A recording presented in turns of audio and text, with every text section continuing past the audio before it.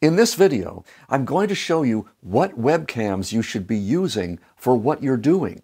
Now, for 90% of your everyday use, there's only one kind of webcam you need. It does 1080p at 30 frames per second. If it does 60, so much the better, you'll use 30.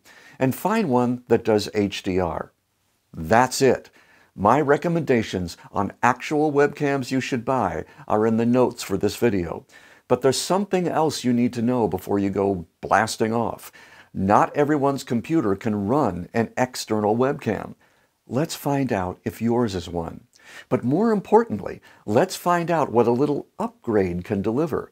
The possibilities may surprise you.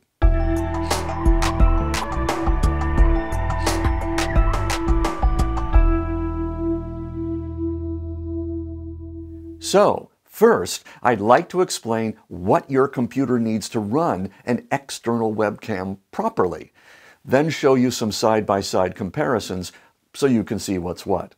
Welcome to the Visible Authority, where even a webcam can give you a transcendent experience.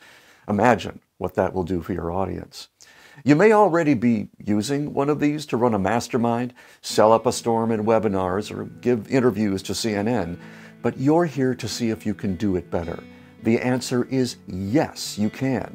First, though, let's see if your computer can even support a better webcam than the one that comes built in. Many can't. In a moment, I'll explain why these specs are so important, but for now, here's the 411. You need a graphics card with at least a gigabyte of RAM, the next most recent Intel or AMD processor, and a USB 3 port. Now let's look at features. There are really only three that are important, the resolution and the frame rate and HDR. Resolution is the size of the frame and frame rate is how many of them run by in a second.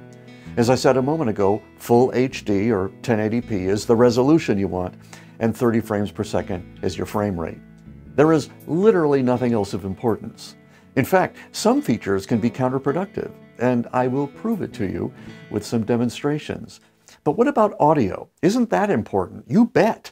And in a webcam, it's even more important than in a regular video camera. The problem is, they don't make webcams with good audio. They just don't. But ironically, audio for webcams, unlike audio for $100,000 cinema cameras, is always advertised as true to life or crystal clear.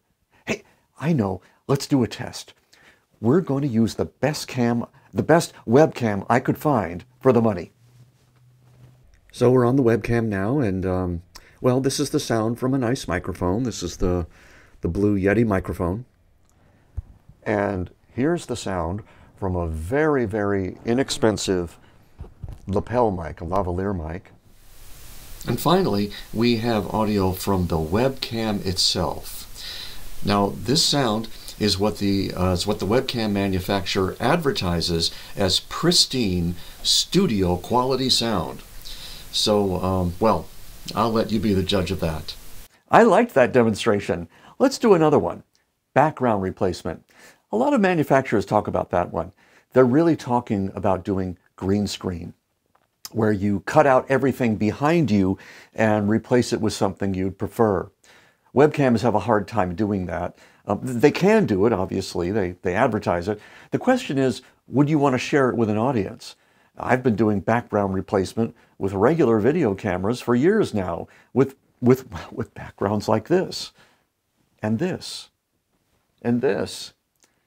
But with webcam, well, here, let me just show you. Of course, you can do it, but I don't know. I think my hair is on fire. Not sure you want to present that to an audience. This is fun. Let's look at another feature. Some of them say that no matter what lighting conditions you create, the webcam will make everything look beautiful instantly and effortlessly right out of the box. It's so amazing that they would say that. That's like saying, our college will take your failing grades and with our exclusive right grade technology, instantly turn you into a genius who gets nothing but straight A's. Come to think of it, I think I could have used that. But no, no, all webcams are are pretty so-so at seeing light. And if the webcams that you can upgrade to are so-so, the ones that are built in, like this, webcam that's built into my iMac are really even worse at it. Let's look at one that's worth it. Some webcams have HDR. HDR stands for High Dynamic Range. It makes colors more vivid and, and gives your picture better contrast, so it's more like the human eye sees things. This one is real. It's one of the simpler things you can do to make webcam footage look a little more like footage from an expensive video camera. So this is a camera with HDR, and I'm in an online meeting room called Zoom, and um, you can add some apps uh, to your to your uh, camera so that you can change the settings on the fly. Like right now, I'm making it brighter. I can make it darker. Um, I can change, you know, lots of things about the picture, and I'll show you some apps as we go along. This is HDR, and I think that HDR, you know, gives you kind of an airbrushed look, you know, kind of like a kind of like a Hollywood starlet in the 1940s. Well, you can decide if that's something that's good or bad for you when you start making your videos. The last feature we'll look at is 4K. We don't actually have to see this one because it's kind of like cold fusion or warp drive. It, it, kind of only exists on paper. Now, the specs might say 4K, but there are so many reasons you just can't get it. Your internet provider might only allow 5 megabits per second down the pipe, but 4K requires 25 megabits per second. I have a pretty fast connection myself, Let's see what kind of megapixels per second you can get in the real world.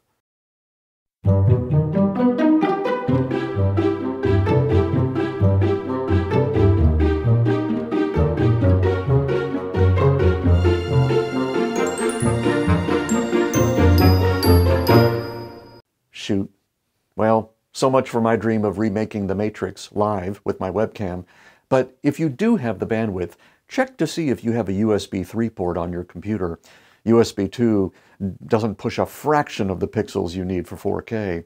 In fact, if you only have USB 2, you may be better off shooting 720p, but it's not a very good long-term answer. It's better to have USB 3 and 1080p because USB 3 theoretically will allow 4K, so there will be no problem in selecting 1080p, even if your webcam can do 4K. Finally, your computer also needs a pretty hefty graphics card to drive 4K or even 1080.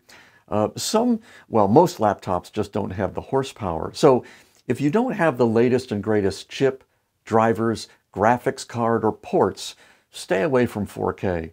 Now, the main reason I'm going on and on about specs and features is because of what happens to the footage once you lay it down in your editing program.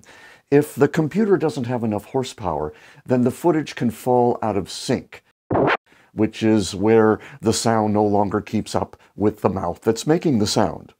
But there are those three specs because they are super important to your being successful with any webcam. And now maybe you can see why they're so important. Because aside from great lighting and audio, they're all you have to work with. That and you being good on camera. The first of course, is frames per second.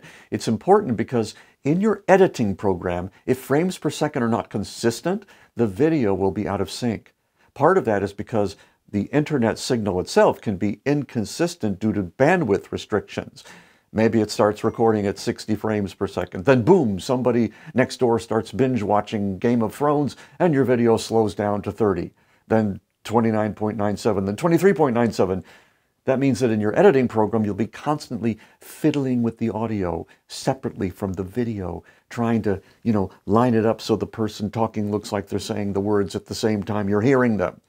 So, how do you know beforehand that your webcam will be able to shoot in a consistent frame rate that your editing program can interpret accurately? You guessed it bandwidth, processor, USB port, and graphics card.